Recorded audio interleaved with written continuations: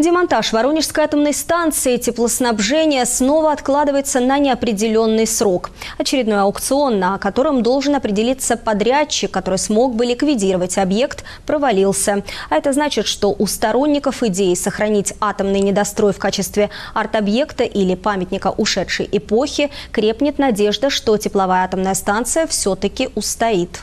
Самый грандиозный воронежский недострой спустя 30 лет выглядит не только величественно, но и загадочно, привлекая многочисленных сталкеров, диггеров и просто туристов. Решение ликвидировать станцию они восприняли с сожалением. Ежегодное содержание недостроенного объекта обходится в 40 миллионов рублей. ВАЗ начали возводить в 1983-м, заморозили проект в 1990-м. Демонтаж этого объекта оценили в 1 миллиард рублей. Впрочем, разрушить атомную станцию оказалось непросто из-за того, что это некому сделать. Первый аукцион на поиск подрядчика провалился. Результаты очередных торгов появились на сайте госзакупок 26 августа. Заявки на участие в аукционе подавали 8 организаций. Однако Росэнергоатом подходящего кандидата среди них не разглядел. Повторную дату аукциона пока не называют. Полностью снести станцию планировали в конце 2021 за 1 миллиард рублей. Елена Цветкова, Сергей Пеляев, 41 канал.